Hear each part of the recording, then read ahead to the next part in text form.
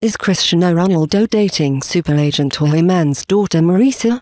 Ronaldo has recently admitted that he has a host of love interests in his life and it has been rumored that Marisa is one of them. Could the daughter of Super superagent Jorge Mendes be one of Cristiano Ronaldo's love interests? Ronaldo revealed on the Jonathan Ross show on Friday night that he has got a few women in his life, but was taking his time to decide who was right. Following the statement, Portuguese source Flash Vidas have linked the Real Madridist with the daughter of his agent.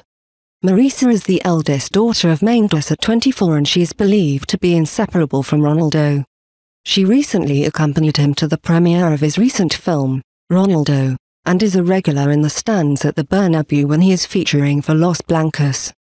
Ronaldo is very much the prized asset in Mendes' big-name stable of stars, and there could be another reason why his relationship with his agent is so close. The Portuguese megastar bought Mendes a Greek island for his birthday last year and in his recent film described him as a father and a brother rolled into one.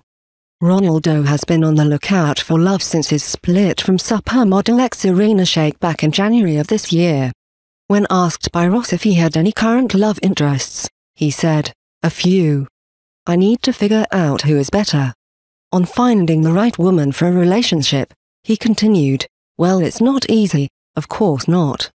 To speak serious, it's not easy. I know 50% they approach just for interest, it's normal, not just me but all the people who are famous they have these kinds of problems. But in another way, I think I'm a confident guy, I'm tall, I have, my, own teeth, I have a nice body so I think the other 50% it's because,